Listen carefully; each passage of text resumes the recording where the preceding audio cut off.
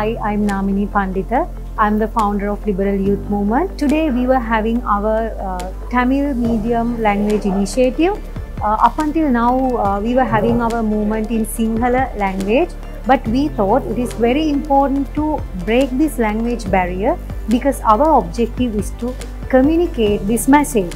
Uh, this message means our message of creating a better society. We need to communicate this message effectively with each and every member of this society. And also, we are looking for uh, passionate young people who will uh, become our uh, volunteers in future to become ambassadors of these eight values that we promote and we want everyone including tamil sinhala people to block the benefits of these values liberal இளைஞர் இயக்கமானது இன்று சிறந்ததொரு பயிற்சி பட்டறையையும் ஒரு சிறந்ததொரு விழிப்புணர்வையும் எமக்கு வழங்கியிருக்கின்றது.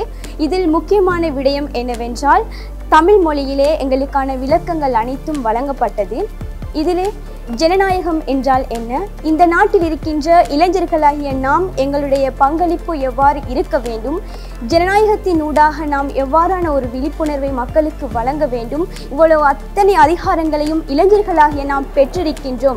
இதற்கு எங்களுக்கு ஒரு சிறந்ததொரு விழிப்புணர்வும் வழிகாட்டலும் இந்த லிபரல் இளைஞர் இயக்- இயக்கத்தினூடாக எமக்கு கிடைக்கப்பட்டதை இட்டு நான் மகிழ்வடைகின்றேன். இன்று நடைபெற்ற இவன் மது முதற்படியாக தமிழ் மொழி மூலம் நாம் மீது இந்த லிபரல் வெல்யூஸை பற்றி ஒரு ஈவெண்ட்டாக நடத்தினோம். அது சக்ஸஸாக இந்த ஈவெண்ட் நடந்து முடிஞ்சுட்டு இதற்கு வந்து பல மாவட்டங்கள்லேருந்தும் பல இடங்கள்லேருந்தும் உதாரணமாக அம்பாறை புத்தளம் கொழும்பு தவிர ஏனைய கேண்டி மாவட்டங்களிலிருந்தும் நிறைய அஹ், தமிழ் மொழி அஹ், பேசக்கூடியவர்கள் வந்து இந்த ஈவெண்ட்டில் கலந்து கொண்டார்கள். அதே மாதிரி பெரிய ஒரு சக்ஸஸாக நான் நினைக்கிறேன்.